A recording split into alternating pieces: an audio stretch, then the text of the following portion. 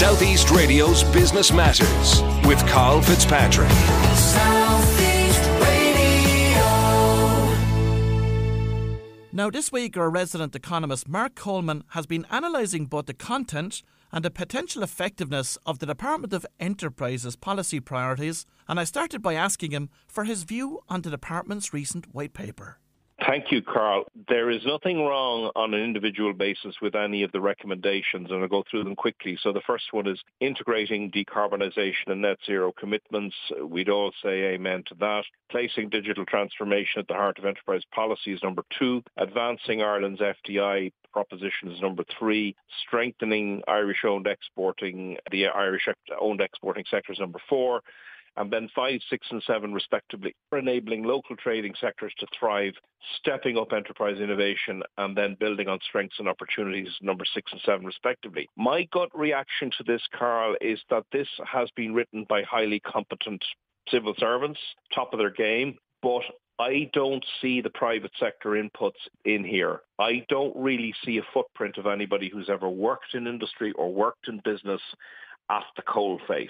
And I think this is where a lot of government policy may be hitting serious problems in terms of credibility. The absolute urgency for business and the top number one priority is the cost of doing business in this country. Not just the cost of taxation, which has been crippling because we never saw a reversal of tax austerity from the previous crisis. We saw a reversal of uh, public spending austerity, which has been more than compensated for. We're still carrying the weight of the highest marginal tax rates for self-employed people in the, Europe. But secondly, as we know, inflation has added between 10 and 20% to business costs of average businesses, and in some cases much higher than that. Thirdly, we have a massive, massive increase in the time cost. It's like a time tax of regulation. Anybody who's tried to do basic banking transactions, tried to get a loan, any SME owner will tell you uh, about that. So really, the we know the FDI sector is going gangbusters and, and, and it's a great success story. But really, had I been designing an enterprise policy for our priorities now, I would have been starting not with the export sector, not with the FDI sector. I would have been starting with the hard-pressed indigenous SME sector that is low value, low margin, and is at the pin of its collar with taxes, costs and regulations.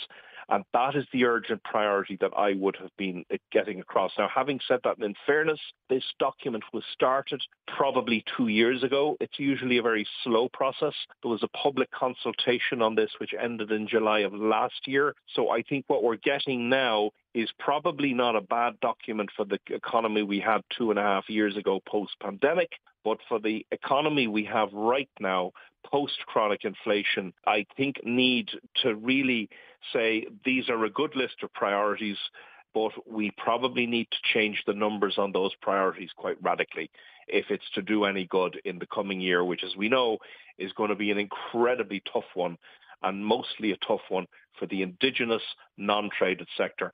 And I would say that Enterprise Ireland have done fantastic work, but its focus on the exporting sector over the last 25 years has ignored the fact that most towns and villages around Ireland today rely in a very significant way on employers who will never export significantly, you know, will never export or never export significantly and should not be expected to. It's the news agent. It's the small construction firm you know, it's the little battalions that make the economy work. And by the way, still provide a majority of people employed in this country and still provide a majority of tax income despite the tremendous success of the FDI sector. That's what I don't get from this document. Having said that, there's a lot of good stuff in it, but if I were the new Minister for Tra- Enterprise, Trade and Employment, Simon Coveney, I would be taking a hard look at the numerical prioritisation and I'd be moving some of those numbers around. Well, Marc will be back with us again next week to share his assessment of the latest goings on in the economy. Southeast Radio's Business Matters with Karl Fitzpatrick. Southeast